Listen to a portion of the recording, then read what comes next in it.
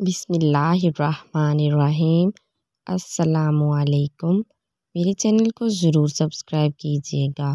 सात तबाकुन गुना हदीस नबवी सल्लल्लाहु अलैहि वसल्लम है। हज़रत अबू हुरैरा रज़ी अल्लाह अन्हुमा से रवायत है कि नबी करीम सल्लल्लाहु अलैहि वसल्लम ने फरमाया, सात तबाकुन गुनाहों से बचो। लोगों ने पूछा वो कौन से गुनाह हैं?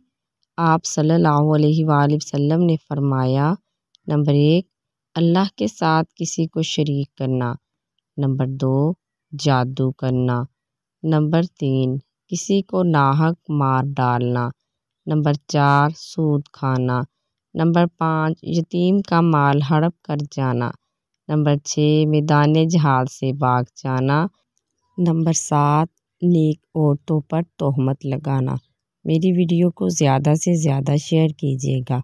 जज़ाकल्ला